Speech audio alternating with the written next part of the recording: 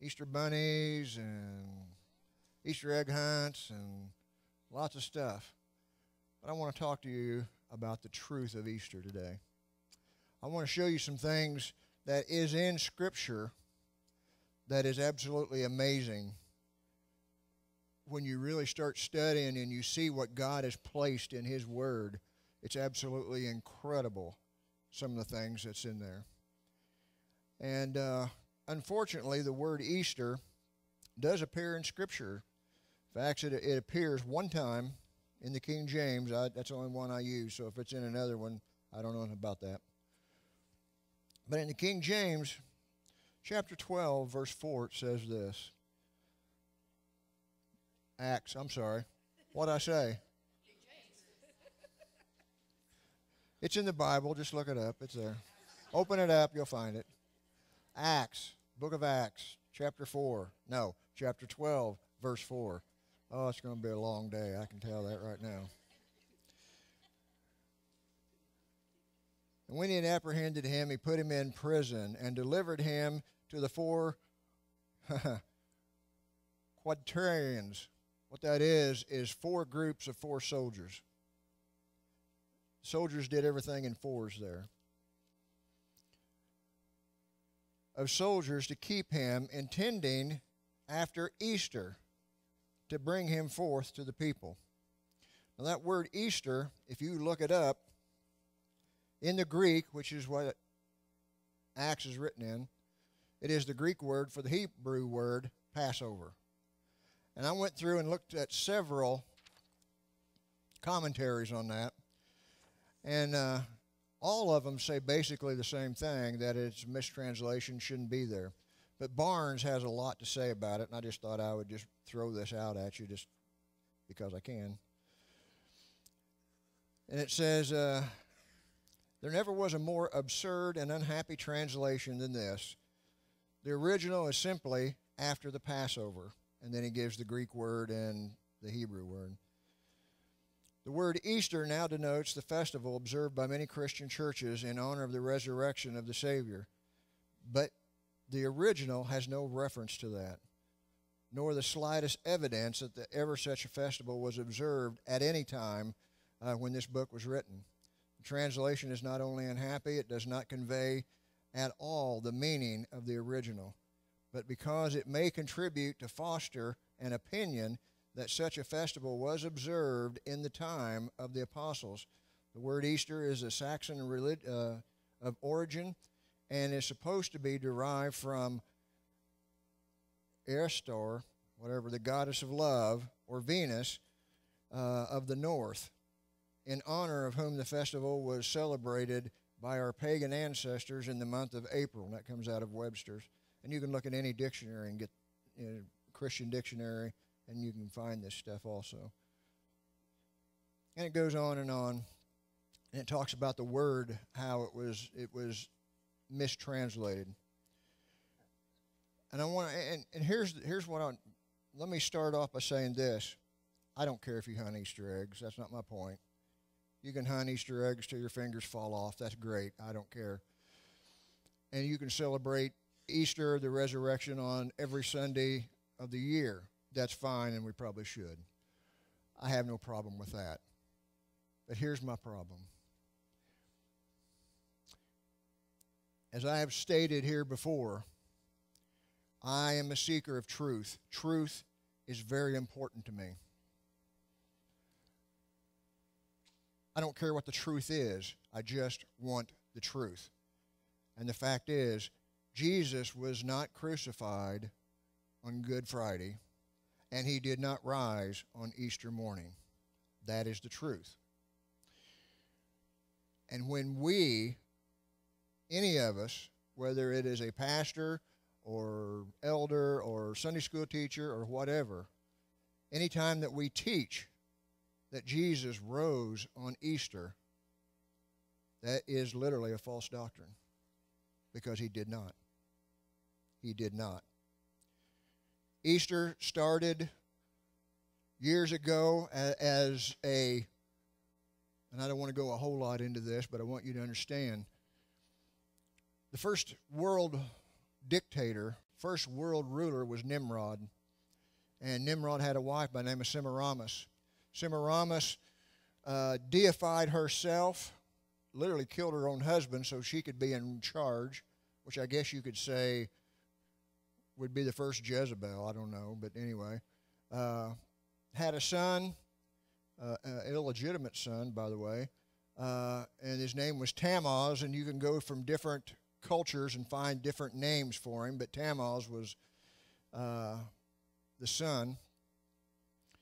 And uh, they had temples for Tammuz and temples for Semiramis. When Semiramis died, they said that she came back in an egg and landed in the Euphrates, and uh, by the name of Ishtar, and started the religion, and it became Easter and yada yada yada understand during the Emperor Constantine's reign, when Constantine was in power, there was a lot of friction between Christians and Jews and the, the Roman legions and Roman kingdom.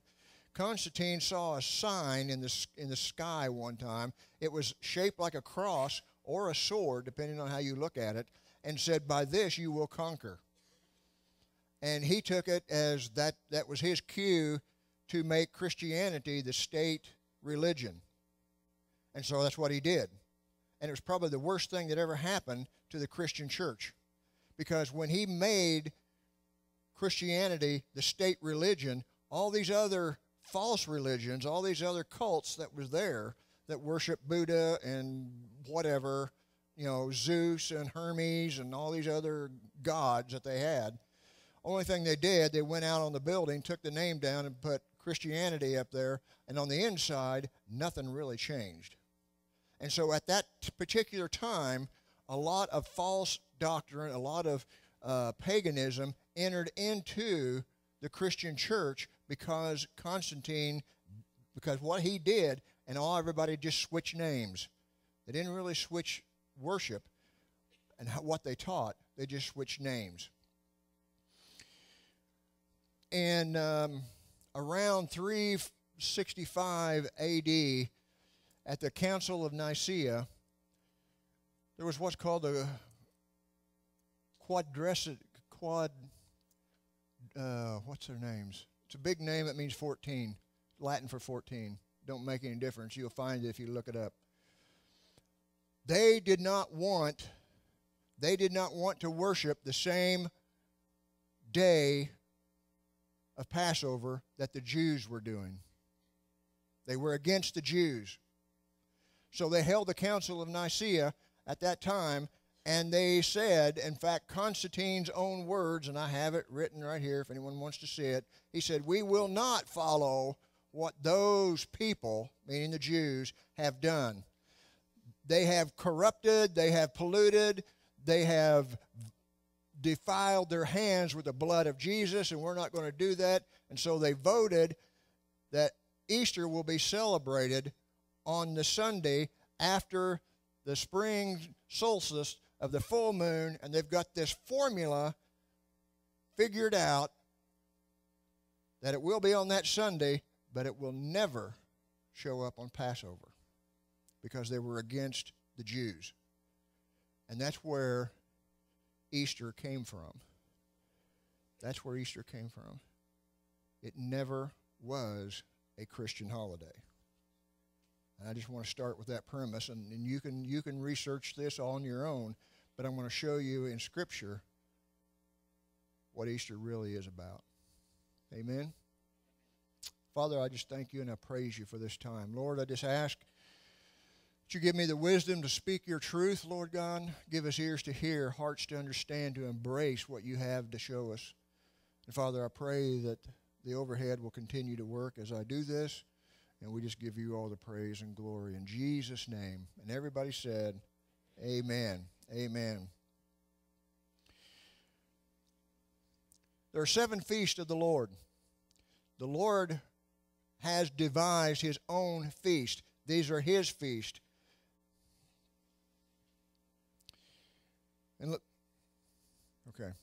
In Leviticus 23 1, it says, And the Lord spake unto Moses, saying, Speak unto the children of Israel, and say unto them concerning the feast of the Lord, which ye shall proclaim to be holy convocations, even these are my feast. These are not the feast of the Jews, these are God's feast. These are His. How many people in here belong to God? Then these are your feast also. And those feasts are Passover, unleavened bread, first fruits, Pentecost, trumpets, Day of Atonement, and tabernacles.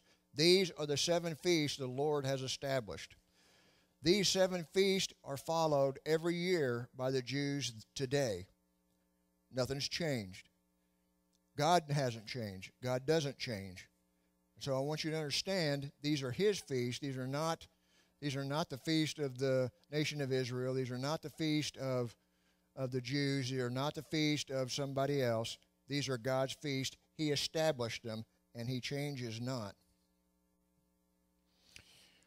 Now then, I want you to look here. We're going to look at Passover, unleavened bread, and first fruits. We're going to look at Passover today because Passover is when Jesus was crucified.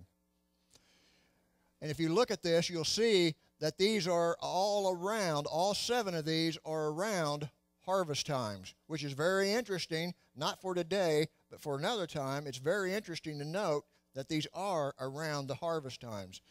Uh, Passover, unleavened bread, and first fruit is around the barley harvest. That's when they're harvesting the barley.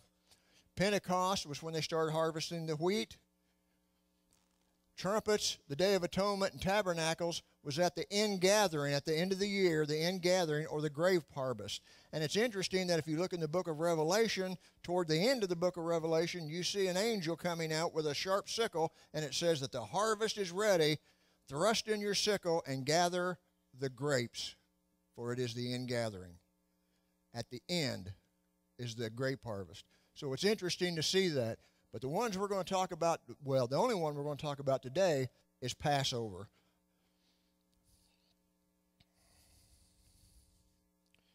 In Deuteronomy 16 16, it says, Three times a year shall all your males appear before the Lord thy God in the place where he shall choose. In the feast of unleavened bread, the Feast of Weeks, which is Pentecost. You count 50 weeks from after first fruits to get to Pentecost. And the Feast of Tabernacles, which is the fall feast. These three feasts are considered the high holy feast. They are Sabbaths. It's important, and we'll get to that, and I'll show you what, why that's important. But it's unleavened bread, Pentecost, and Tabernacles. These are the three high holy Sabbaths. And the Bible tells us that during the millennial reign, we will still be celebrating those three feasts. In fact, every nation has to have somebody show up in Jerusalem, or there will not be rain on their crops during the millennium. These feasts will be observed during the millennial reign of Jesus Christ.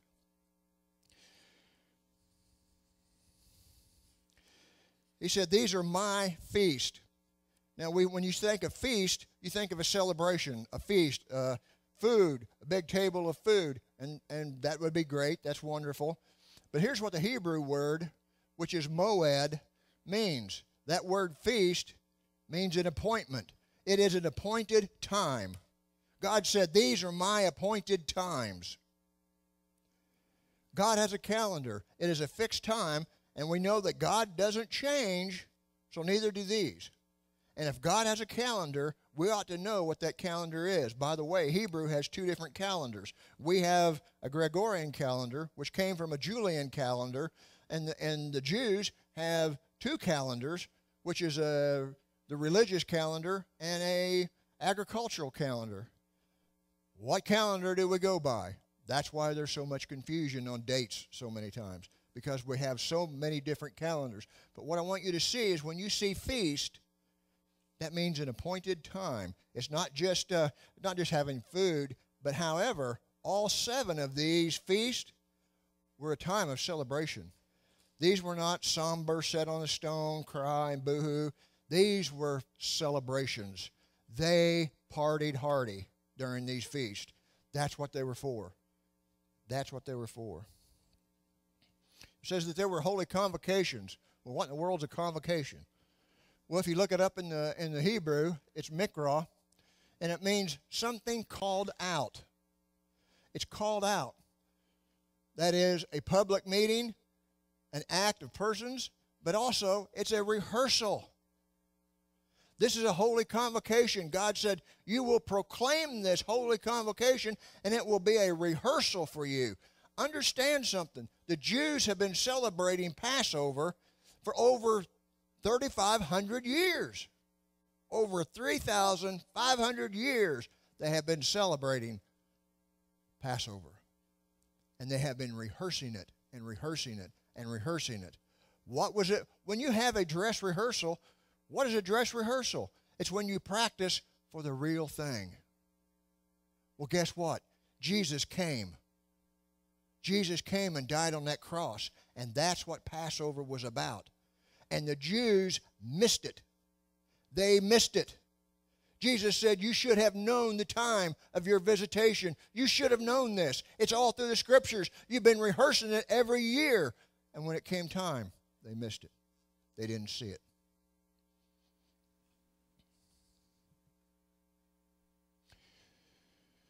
Speaking to the children of Israel, and say, This is how it's actually written concerning the feast of the Lord, which ye shall proclaim to be holy convocations, even these are my feast.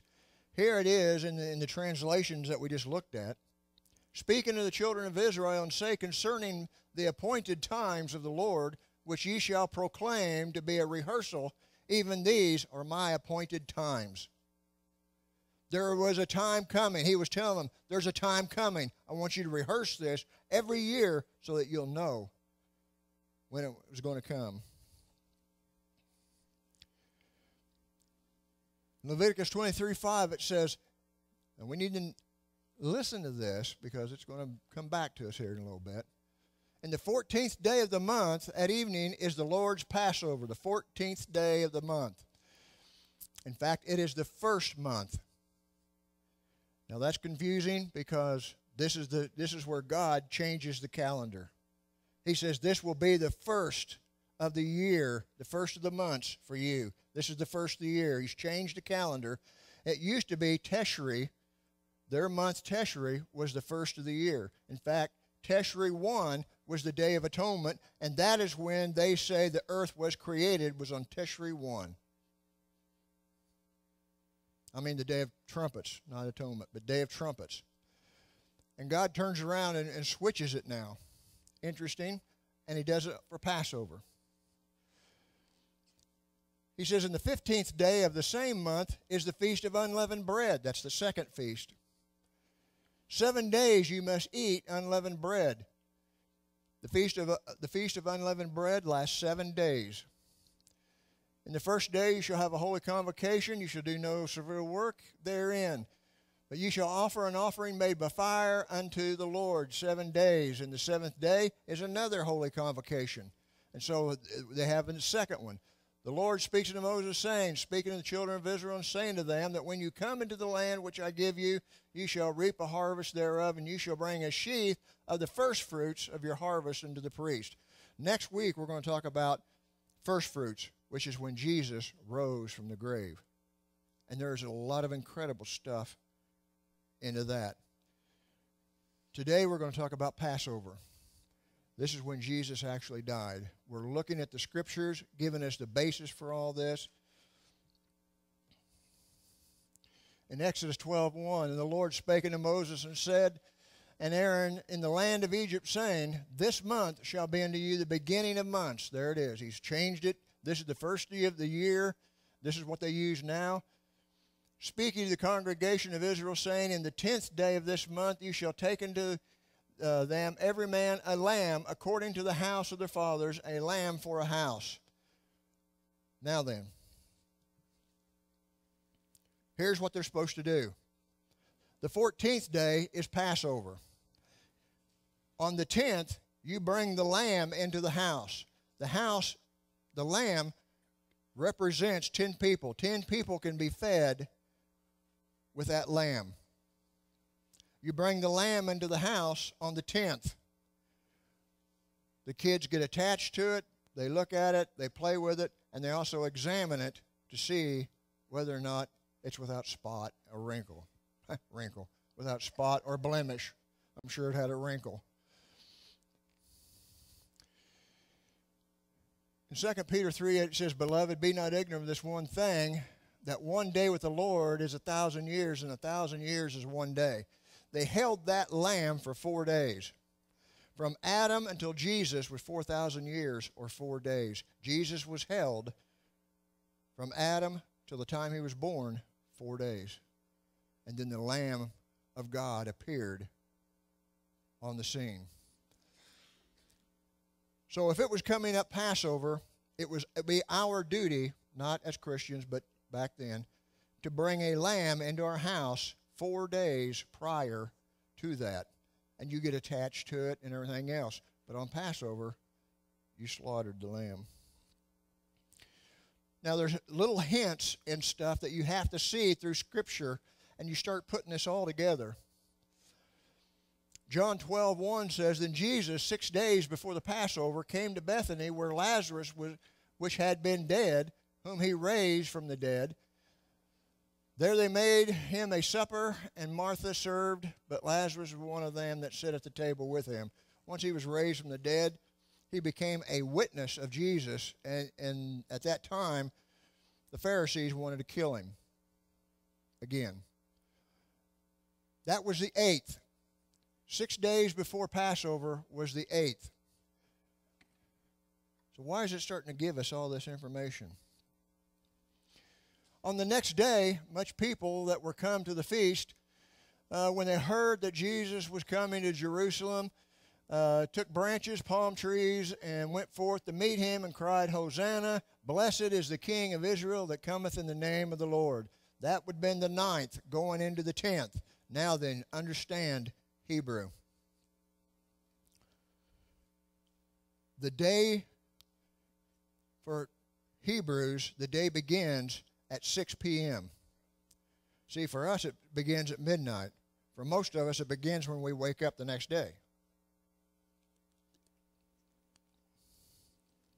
But for the Jews, 6 p.m., sunset, but they say 6 p.m., is the new day for Jews. So as he's coming in on the 9th at 6 p.m., it will be the 10th. When he came into the when he came into Jerusalem riding on that donkey, one of the first things he did was he went into the temple. There the money changers, the sheep people selling goats and doves and whatnots. He fashioned a whip and he went in there and he started kicking over tables and running the money changers out. He says that you have made said, This is uh, my father's house should be a house of prayer, and you've made it a den of thieves. And he runs all these people out. At that time, the Pharisees and the city leaders said, This man's got to die. He's messing with our program here. He's got to die. And so immediately, what they start doing? Finding something that they can accuse him of. They started the examination. They started looking at him. What has he done? What has he said? We not, we've got to find something that we can accuse him of and kill him. Blessed is the King of Israel that comes in the name of the Lord. That is Psalms 118. During Passover, there's five psalms that is sang 115 to 118. I'm sorry, 113 to 118. Five psalms. The 118 is the one that has the, been the last song that they'd be singing. And in that, I want you to understand what they say in there. It says, This is the day the Lord has made. I will rejoice and be glad in it. Jesus sang that psalm knowing what he's getting ready to face. This is the day the Lord has made.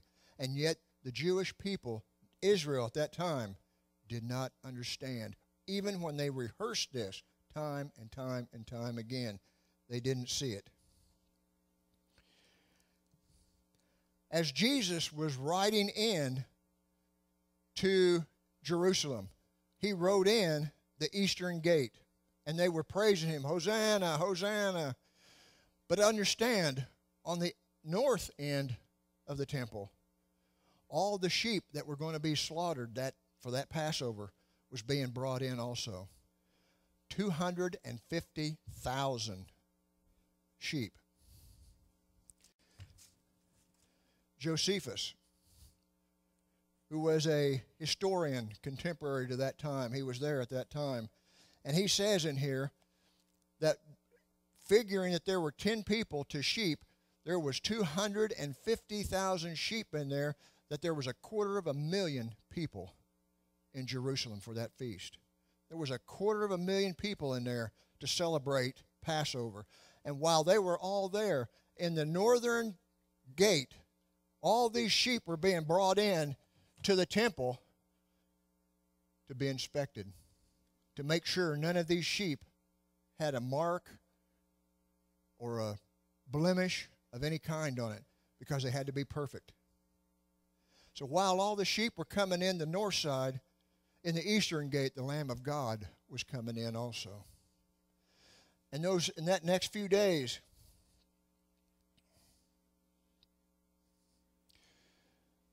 and they sent unto him certain Pharisees and the, and the Herodians to catch him at his words. Now the chief priests and the elders, the council sought false witness against Jesus to put him to death, but found none. They found none. Yea, though many false witnesses came, it takes two that agree. That's the law. It takes two that agree. Excuse me. They found none. At the last came two false witnesses that agreed and said, This fellow said, I'm able to destroy the temple of God and to build it in three days. That's what they had on him. That's what they had. They took him to Pilate. They took him to Herod. They brought him to the Sanhedrin. There were six examinations, six group of people that examined him, and they could find nothing. Herod says, I see nothing of what you have accused this man of. I don't see it. But yet, all the more, they hollered. Pilate finally said, I wash my hands of this. Let his blood be upon you. And then they said, Yes, let it be upon us.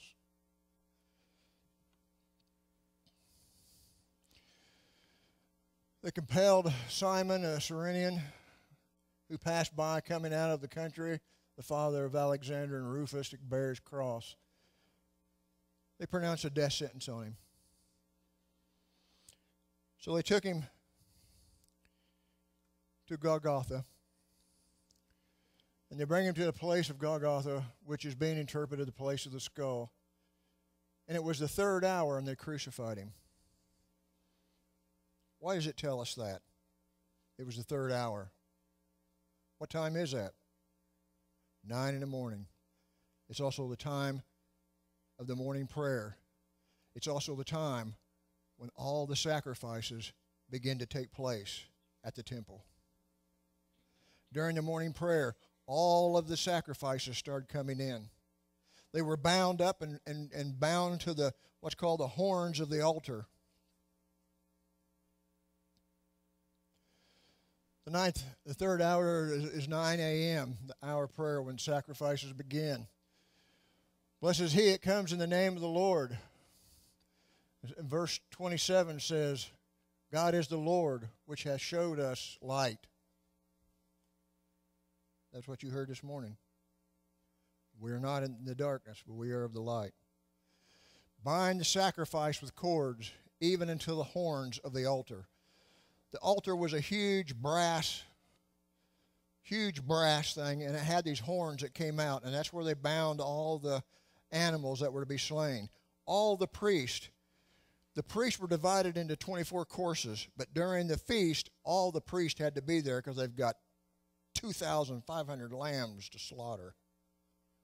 And so while they nail jesus to the cross over here at the temple they start slaughtering the lambs, applying the blood, having the burnt offerings.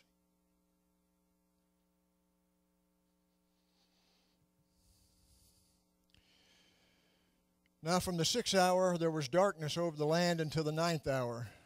And about the ninth hour, Jesus cried with a loud voice, saying, Eli, Eli, lama sabachthani, whatever that. Yeah, how you say that? However, I would pronounce it, it wouldn't be the right Hebrew word. That is to say, My God, my God, why hast thou forsaken me? Verse 50 Jesus, when he had cried again with a loud voice, yielded up the ghost. Verse 46 is about the ninth hour. Why is that important?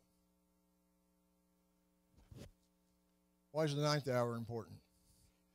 Because that is at 3 p.m., and that's time of the evening sacrifice when all the sacrifices were done, and the last paschal lamb that was to be brought in and slaughtered by the high priest was to be done. And so at 3 p.m., when all the sacrifices over here were done, Jesus on the cross over here gave up the ghost. He died. He fulfilled Passover to the minute. To the minute. God, thousands of years ago, instituted this. Jesus came and fulfilled every part of it to the letter. Dare I say, to the minute. Fulfilling the feast of God as prescribed by God Himself.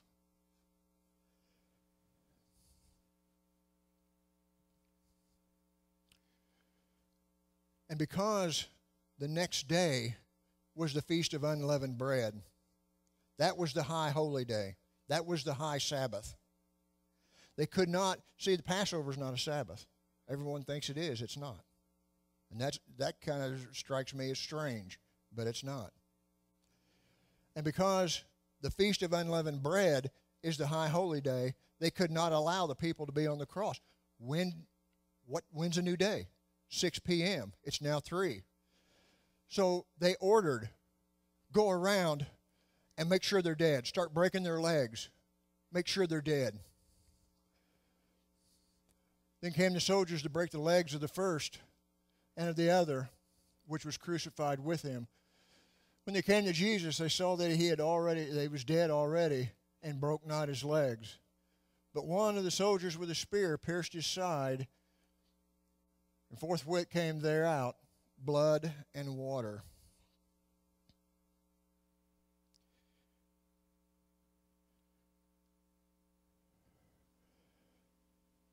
All through Scripture it says that no, no bone of Jesus should be broken. In fact, during the Passover in Egypt, when it was instituted in Egypt to bring the children of Israel out, the deliverance of bringing the children out of Egypt, the Passover lamb started there, and it was the blood was put on the doorpost. And they give, and God told them how to do it, and says, "Don't you break a leg, don't break a bone in that lamb. Not one bone is to be broken." And it says, "For these things were done that the scripture should be fulfilled. A bone of him shall not be broken." In Exodus, whenever you take the lamb in the house, neither shall you break the bone thereof. Numbers nine twelve uh, nor break any bone of it. Psalms 34:20. He keepeth all of his bones, not one of them is broken, and not one bone of Jesus was broken. Not one bone was broken.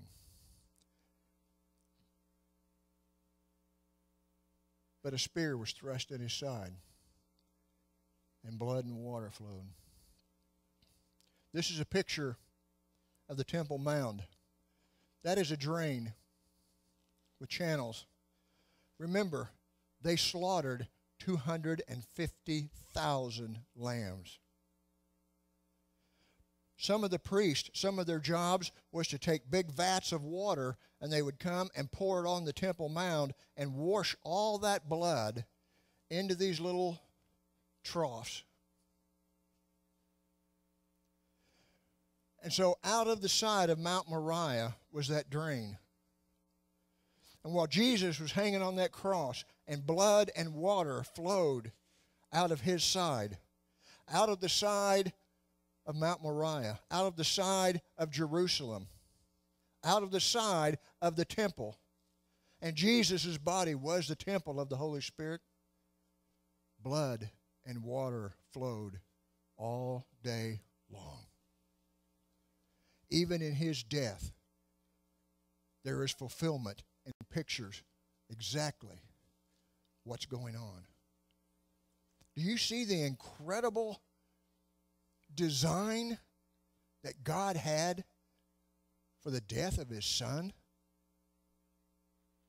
Do you see that Jesus fulfilled every single thing?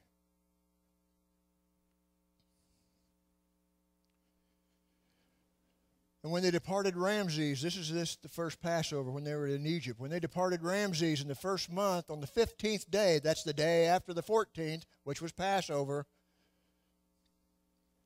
on the morrow after the Passover, the children of Israel went out with a high hand in the sight of the Egyptians. They were delivered. Pharaoh represents Satan, Egypt represented the world, and here is the uh, here is the Israelites being delivered because of the blood of the lamb and the death of the firstborn. And it says the Egyptians buried their firstborn. What happened to Jesus after he died? Who was the firstborn of God? Now, when it was evening come, here we come down to the 6 p.m. We got to get him in the ground. We can't do it on the Sabbath because it was the preparation. Preparation of what? Of the High Holy Day, Feast of Unleavened Bread. The day before the Sabbath, Joseph of Arimathea, an honorable counselor, which also waited for the kingdom of God, came and boldly unto Pilate and craved the body of Jesus.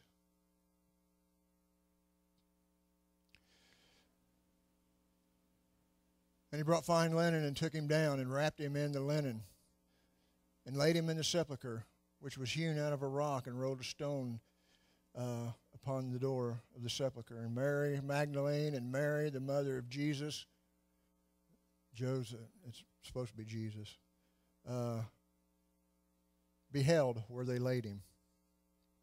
They saw where he was laid. When the Jews have a Passover Seder. One of the things they do is they have to get all the leaven out of the house. That's where spring cleaning came from, by the way. They go in there and the mother cleans the house immaculately. And during the Passover meal, they will take a little piece of leavened bread because they can't eat leaven. It has to be unleavened bread from here on out for seven days. And they take that little piece of leaven and they'll put it over by the stove somewhere someplace. And the kids will take a candle and they'll start looking because they don't have lights. And so they take this candle and they start looking around and they've got a wooden spoon and a feather. And they go around and they'll find it and they go, ah, we found it. And the father will come up with the feather, put the wooden spoon down there and not touch that leaven because leaven represents sin. And he'll take that feather and he'll scoop it up in that wooden spoon. They'll take a linen cloth and lay the spoon, the leaven, and the feather on the wooden, on the, uh, linen, wrap it up, take it outside the house where they have a communal bonfire, and they will throw, everyone throws their wooden spoon, their linen cloth, and everything into the fire and burn it. That's the celebration that's still held today. That's what they do. And what we see there is it's the Father with the Holy Spirit representing the feather getting the sin out of people's lives by putting it on the wooden cross where Jesus was, wrapping it in linen, what we see right here. Jesus was taken out of Jerusalem, outside the camp, and he would, became the burnt offering. Jesus, when he went into the temple, what did he do? He was getting the leaven out of the temple. He was helping his father get the sin out of the temple. Everything in the Passover was fulfilled by Jesus Christ.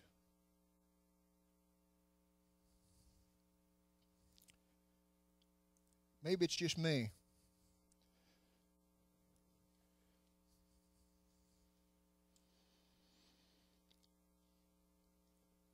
But I think it comes real close to blasphemy to see what Jesus went through. And this, this is just part of it. This ain't all of it. This is part of it.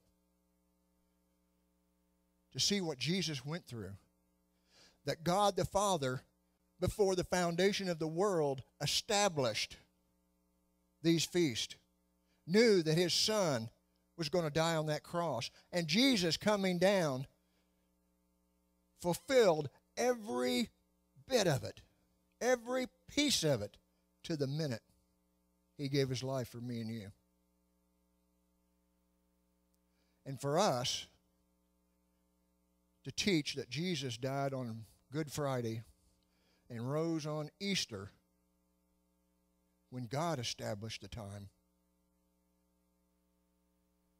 in my opinion, comes real close to blasphemy. I've heard people say we can, re- we can redeem the day of Easter. It never was a Christian holiday. What would you be redeeming? It was a pagan holiday. And it started back under Constantine changing things because they didn't like the Jews. Now, listen, I don't care if you hunt Easter eggs. It's not a sin to hunt Easter eggs. It's not a sin to go to a sunrise service on a Sunday morning. You can do that every you can, you can do that every day if you want to. That's fine. But don't teach that Jesus rose on Easter because he did not. He did not. And he did not die on Good Friday. In fact, he didn't die on Friday at all. It was Thursday. You can't get three days and three nights with Jesus dying on a Friday. Can't be done. Next week, we're going to look at the resurrection, that he rose on first fruits. And there is a whole bunch of stuff in first fruits that is just incredible. That is just incredible. I don't know. I hope you get something out of this. Like I said before, I I like the truth. Give me the truth. Never be afraid of the truth. I want the truth. This is the truth. This is scriptural. And you can go back through history and read some of the things that these people have, have said. Even some of them have said an angel came, and there's no evidence. The apostolic fathers did it on Passover, but they wanted to change it because they did not want to be under the Jewish stuff. I just want the truth. You can worship God any day you want to and should. But know, know the truth. Don't be afraid of the truth. You will know the truth, and the truth will make you free. Amen? Amen. Stand up.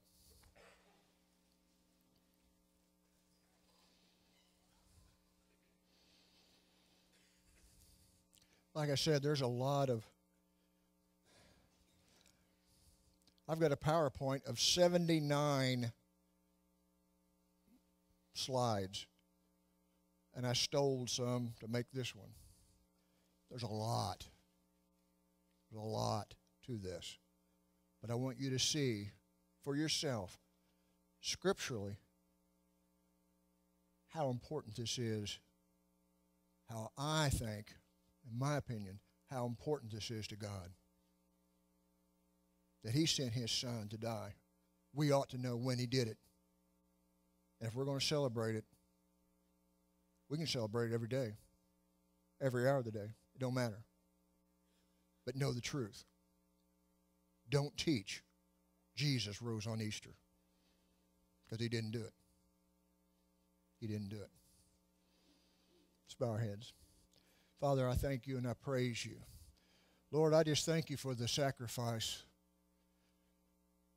that you and your Son did for us. Let us ever hold that day high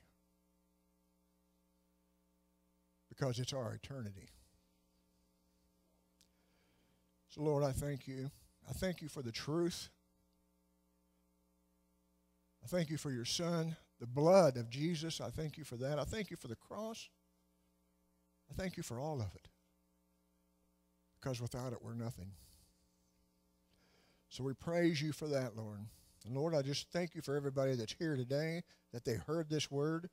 Lord, I just, uh, I just ask that it just touch them.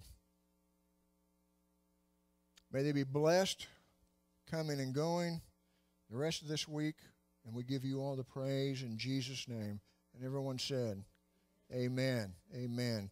Shake some hands and hug some necks and greet each other.